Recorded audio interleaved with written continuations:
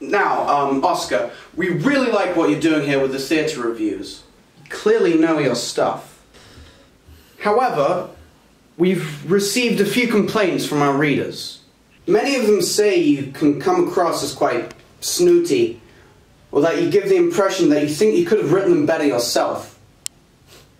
What I think would be useful and would help with the flowery nature of your writing would be would be to go to London and write down your thoughts on could be anything. 500 words max, not a comma more. Our aim here is to get a sense of what London is like for a 2020 audience. Less Ovid, more J.K. Rowling.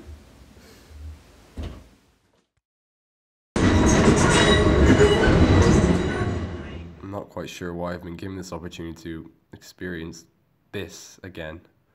Nonetheless, I'd like to make it count, make it matter. So, this is what actors are like these days. This man, uh, Olivier, why does he have a statue? I've done far more for theatre than he ever has. He merely speaks towards the theatre, I create them.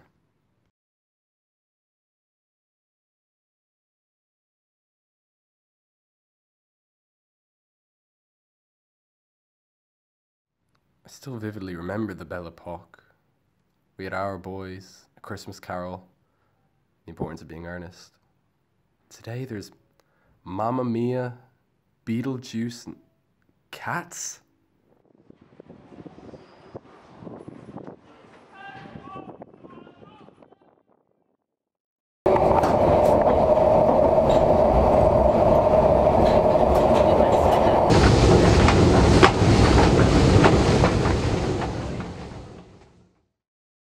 This pain is too familiar. Reminds me of November. It's certainly been a while.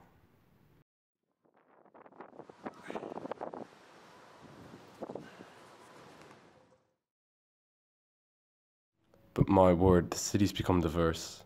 In more ways than one. My so called deviant behaviour got me locked up in Reading jail. Whereas today it's celebrated.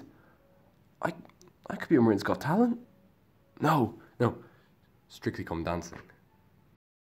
In my day, we had Victoria, a charming, noble queen. Today, we have Elizabeth, a charming, noble queen. This is art now. It's, uh, fun.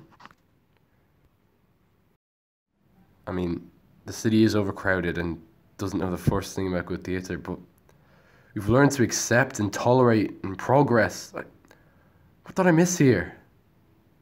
2020, maybe, maybe it's better than I first thought.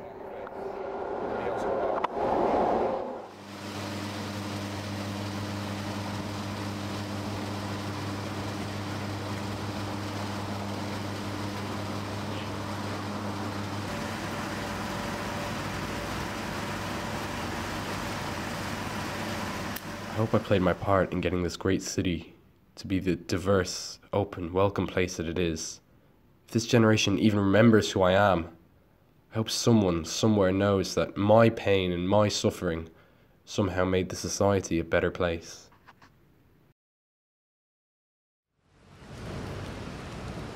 For the first time in my life, I'm at a loss for words.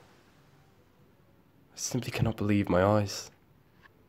The society I came from locked me up for being Oscar Wilde. This society puts me on a podium for being Oscar Wilde.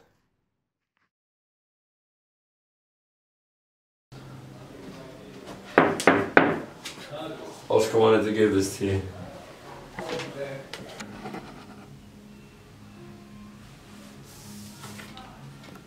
Why isn't he here? Dear editor, I've had to leave. I'm going for a chat with my old friend Ovid. I wonder what he thinks of Quidditch. I'm afraid I won't be returning. I leave the greatest city in the world a different way I left 100 years ago. Happy, fulfilled, accepted. Yours truly, Oscar Wilde.